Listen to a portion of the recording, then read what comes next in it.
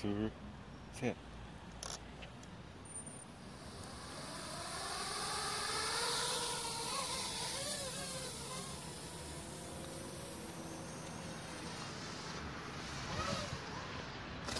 어, 하필 절로 떨어지지? 이 정도 못하겠다.